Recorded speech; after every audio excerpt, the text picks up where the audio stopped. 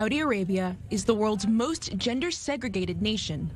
But amid changes now underway, different generations of women are debating how to be truly modern and truly Saudi. With steep new taxes and cuts to essential government subsidies, many families are increasingly relying on women to work. In doing so, women are negotiating a new place for themselves in Saudi's delicate social fabric. A trend celebrated by some and seen as suspicious by others in a country still tethered to its conservative traditions. Inspired by her late father's career, Mona decided to join the military and the first group of Saudi women soldiers to work at Islam's holiest sites, where they will help secure the Hajj annual pilgrimage. I joined the military service to continue my father's journey, may God rest his soul. Standing here at the Grand Mosque in Mecca, the holiest place, to serve the worshippers is a very noble and honorable task. Thousands of women are showing up to work across the country every day. Unimaginable just a few years ago, but now increasingly the norm under reforms led by Crown Prince Mohammed bin Salman to modernize the kingdom.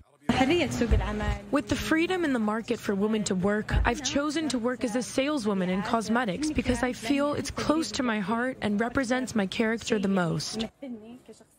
Saudi Arabia granted the right to drive in 2017, a historic move that cracked open a window to new freedoms for women who have long lived under repressive laws.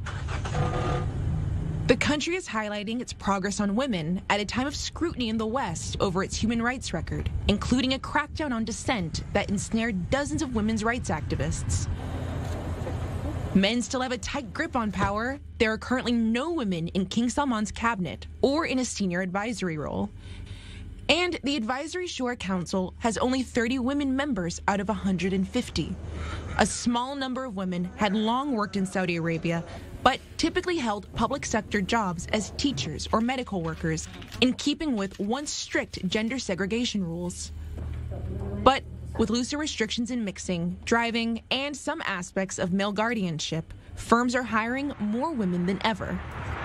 I am very happy for the opportunities we have in the market as women in Saudi Arabia. I honestly like to be financially independent, avoiding the embarrassment of asking your family. The situation has also become very difficult with the prices and taxes increasing. I'm very proud of myself and proud of any woman who is financially independent and works to achieve the things she wishes for.